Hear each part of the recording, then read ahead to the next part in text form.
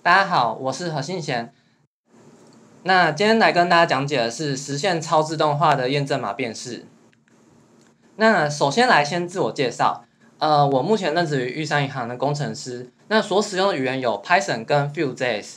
那之前的工作经验有模型两年工作经验。那目前主要的工作是 RPA 以及 Full Stack 相关的工作。那我自己是擅长爬虫，喜欢研究网络相关以及架设网站写 API。好，那今天跟大家讲解今天的 agenda。那我会从一开始的缘由，为什么我们要去破解验证码说起，再来是跟大家看一下，就是有各种千奇百怪的验证码，以及我们一开始看到这个问题的时候，我们想象的做法有哪些。最后我们在进行资料收集的时候，我们是怎么收集的？那也跟大家讲一下我模型的策略。好，为什么我们需要破解验证码？其实是回归到我们呃 RPA 的工作上面，我会收到许多使用的需求，他想要去呃去完整的操，他想要去自动化去操作他的网站，去登打一些资料。那这些步骤的话是非常高工时且重复性的。那如果将这些呃人工作业、高工时且重复性的工作交给机器去做，就称为 RPA。机器人流程自动化可以帮忙做完，那可是这些网网站上面常常都伴随着有一些验证码，就是为了防止你这样很完整呃很顺利的结束这个登录它。那我们这部分就需要透过 OCR 的帮助，但是 OCR 就是说光学资源辨识，它可以将这个我们看到照呃图片中的这个验证码辨识出来。如果结合 RPA 再加上 OCR 的话，就称为这个超自动化。超自动化就是透过机器学习的导入来提高这个 RPA 的自动化流程。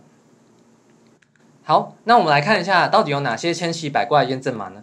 那像是左边我们看到这个身份证换补发，身份证换补发其实这个网站的验证码，它的字式都是挤在一起的，然后而且颜色也有变换，杂讯也非常多，所以是困辨识的这个困难度是比较高的。那左上角这个进出口这个厂商。资料查询就辨识难度比较低。那我们面对不同种的验证码，使用者的情境也非常多。那先来跟大家呃简单展示一下，就是我自己辨识的这个呃我自己训练的模型的成效。那呃这边有举例四个网站，那呃想象来说，就是这四个网站都有不同的验证码。那我就是用 TensorFlow 跟我自己的这个训练模型做比较。那 TensorFlow 来说，其实呃除了第一个勉强可以辨识。几个字之外，那其他的话都没有办法成功的去做辨识。像高铁订票的这个网站上面有一条线，它就没办法去做辨识。那身份证换补发这个验证码来说，这个 B 跟 E 也合在一起，也是很难去做辨识。那我的模型其实基本上都可以呃完整的去做辨识。那一开始我们面对这个问题，想象做法有哪些？那我想到就是用这个最知名的套件是这个 TensorFlow 去做解决。那 TensorFlow 其实我们可以看到说，刚刚这个精准度其实非常的低。那只有在这个比较简单的 case，它可以呃可以成功的辨识。那再来是另外一点，许多的网站都有提供这个语音播放的的这个验证码服务。那呃我们就可以因此来劝一个这个语音的模型，就是 STT。那可是不是每个网站都有提供这个语音服务。那我想象就是，如果我要提供给使用者这个服务的话，我一定是要尽可能符合使用者需求，所以可以呃每个网站上面它都有图片，所以我就劝一个 general 的验证码的模型来提供给我的使用者。那想象做法一开始的话，呃，我是找呃 TensorFlow，我先测一下它的成效大概是如何。那平均的成效是大概两趴，呃，每一张花费的时间大概是零点二六秒。那可以看到它的辨识效果其实非常的差。那来跟大家讲一下我的资料收集的方式。那一开始要跟大家讲最关键的部分，就是模型辨识的成功的最重要因素，其实就是我们去收集大量且正确的 ground truth 的图片。那怎么收集呢？我等一下会一一讲解这个呃一些方，一一讲解右边这几个方法。那左边的这张图中间有呃。一些数字，那些数字的话是我在这个 training 以及 validation 还有总的资料集的数字。那全部的资料的话，我是收集了大概大概快二十万张的资料去做验证码的训练。好，第一招，只防君子不防小人。那这是什么意思呢？其实我们在登录这个网站的时候，常会看到说，其实蛮多网站其实它只是呃表面上，它只是点下去它就会有答案的。所以我们可以看到左边这张图，点下去的话，它会另开网站，另开一个网页，然后它就会有一个答案，所以你就可以直接得到那个网站呃那个验证码的答案。那再来是第二点，呃，我们看右边，这这个答案其实有可能比较虚拟它藏在它的网站的验证码的连接，你再把它点开来，那它就会有答案的。再是魔鬼就藏在细节中，什么意思呢？其实跟刚刚上一点有点类似。其实蛮多网站它会把它的这个答案藏在的网这藏在那个网页的原始码当中。我们可以看到这张图的这个 case，它就是把这个答案藏在这个网站的的原始码里面。那左下角的话是另外一个这个网站的情境，它这个网这个答案藏的更特别，它是把它藏在这个呃红色的文字上。当面它有点跳号，所以我们就不小心发现这个答案了。再是第三点，呃，铁杵磨成绣花针，那是什么意思呢？其实我们去登录那个网站成功的话，其实就是验证码也是成功，所以我们登录成功就可以拿到一张的正确的验这个验证码。那呃，虽然刚有提到说 Tensor Add 这个呃辨识的这个。成效其实不高，但是它其实还是可以辨识成功。我们可以看到这张图片的例子，左边虽然辨识失败，但是它还是有可能辨识成功。那我们只要一直重复的去登录这个网站，我们就可以得到很多正确的验证码。当然，你用这招的话，就是避免去攻击网站。那我建议你是将这个间隔时间调长一点，那可以就是降低去攻击这个网站的这个几率。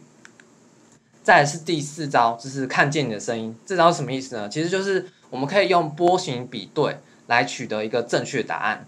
那我们先看图中的例子，左边呃左右边都各呈现了一个验证码的呃图片。那我是把它抓下来，然后大家可以看到我抓的是这个呃第左边我是抓了八的这个数字，呃中间也是抓了这个八的这个这个数字。那我把这波形把它画出来。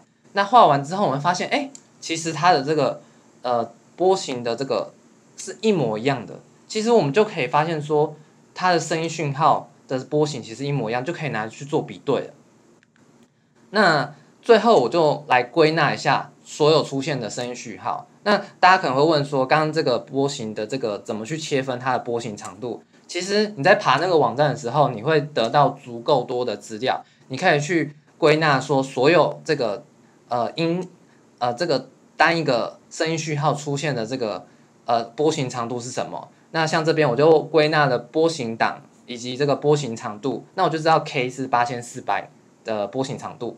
那第二 step two 我就来发，我发现这个波形的秘密，我就来直接去做比对。那这一招的话非常快，直接比对波形其实真的非常快，不需要语音模型的介入介入。那再来是第五招，偷龙转凤。那其实我们会知道说，其实呃每个网站的验证码其实都是用程式去生成的。那我们是不是也可以模仿这一招去生成很多的验证码？答案是 OK 的，就是我们可以在网上找到各式各样的这个网站验证码的 repo。那它这边有提供各式各样的这个验证码，像是左边我就找到一个 multi-color capture。那这边的话就是可以提供多种颜色，然后有翻转啊。那右边的话是也是参考。这个验证码，那我就可以生成不同的验证码。那要有多少图片，就是有多少，都可以透过这个这些 repo 去做生成。再来是这个第六招，千变万化。那这一招是什么呢？其实就是我们在做深度学习的这个影像辨识的时候，我们都会知道说有一招叫做 data augmentation，就是我们利用资料扩增的方法，将图片进行翻转、平移等方法，我们就可以得到不一样的图片。那呃。左下角的话是这个呃八，然后变成不同的扭扭曲的八的这个图片。那这这个是从这个 argumenter 的这个 repo 截取出来的。那我是蛮推荐这个 Augmenter 这这个套件，因为它有提供 multi threading，那也可以生也可以去设定不同的正度，然后还有这个几率去生成这图片。那呃我就是利用这一招可以生成各式各样的图片，可以一瞬间。又将一张图片生成这个多张图片，这样。再来是我们归纳一下刚刚资料收集的整个步骤。其实，在资料收集的时候，我们需要去注意几点哦。第一第一点是这个建议有找到这个 ground truth 的网站，就是刚刚我提到的，你最好是找到是有正确答案的网站。再是，或者是说你利用登录的方式可以得到正确的答案。那第二点是，如果说你找到的验证码不确定是否有这个正确大小写，那我是不会用它的，因为我觉得，呃，如果未尽的资料是不正确的，反而会这个降低模型的成效。那第三点是，我们在爬虫的时候都可能会失败。那我们因为可能这个网站有各式各样的呃 case，我们没有办法就是一下子全部都写完，所以记得写 try reset。那再来是第四点，党名的规范。那这一点是什么？其实你爬，呃，例如 A 网站跟 B 网站的验证码，它的验证码的这个答案可能会一样，但是它图片可能会长不一样。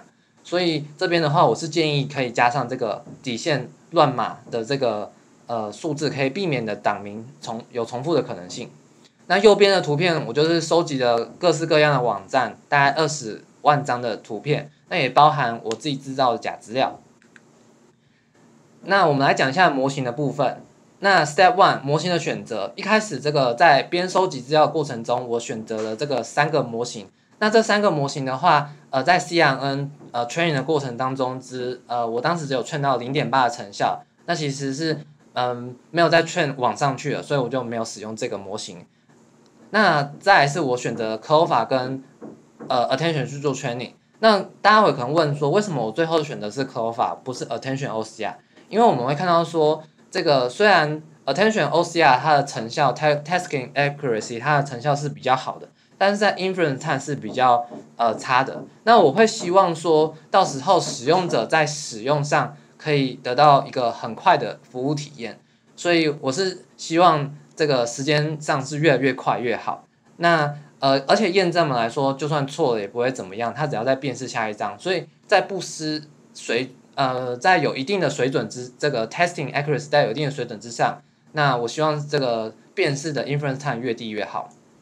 那模型的训练策略这边我就使用了 GPU，那呃训练的时间大概花费了快两天的时间。在模型的成效这边，我们大家可以看到右半部边，呃右半边，那这边的话，呃训练资料我是使用十六万张，验证资料我是使用的这个四万张的资料。那整体来说，这个模型的成效，我是在从验证资料再抽一万张的资料，那来给 Tesla Tesla 跟 c l o u d a OCR 做比对。那详细的话，大家可以在比对图中的这个呃各个分项的成效。那我们可以直接来看总体的成效，右下角的这边。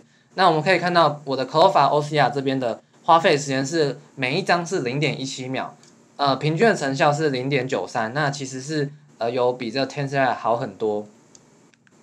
那在 Step 四模型的推断重构，那这边为什么我要提到这一点？是因为我在使用 c l o f a OCR 的时候，那它提供的呃 demo 点 py 档其实是以 image folder，其实它是使用这个 base size 的方式去做呃辨识。那我们想，我们可以知道说，我们在做验证码辨识的时候，其实都是使用单张去做辨识，你当下就需要知道验证码的结果，所以是 inference 单张的呃状态。那第二点，我也将它原本的 demo 点 py 去做改写。它原本是写各个参数的这个呃输入各种参数，那我是把它改写成物件导向的方式，那可以提供呃使用者在 Jupyter Notebook 可以更好的做使用。再是模型推断的实际测试，那这边来说就是一开始我没有注意这个 worker 的数量，那我是使用它预设的四，那这是什么意思呢？它这个 worker 对应到这 PyTorch 的一个呃，data loader 里面的一个参数叫做 number of worker。如果你写四的话，它就是呃，在它跑的时候，它就会开启四个 worker 去执行。那我可以发现说，就是一开始我使用 worker 等于四的时候，它的初始化时间相当的久。那后来就是呃，其实跟前面有点连结，因为其实我是 inference 单张，其实我所以我根本不需要呃这个 data loader，所以我就把 worker 改成零。那哎，可以发现就是实际上这时这个 inference 时间大幅的下降成一秒以内。最后就是我把它写成一个快速上手的一个这个 readme，那提供给我的使用者做使用。那其实只要使用红框处的这个程式码，我们就可以去做辨识了。那呃是不是很简单？那红框做的话，其实大家是只要呃把这个预训练模型的这个资讯这个路径把它写进去，进行初始化，然后在每次每次辨识的时候进行这个呃把这个 image 把它丢进去，就可以得到这个 inference 的结果。那呃今天的讲解就到这边，那感谢大家的聆听，希望大家有个美好的收获，谢谢。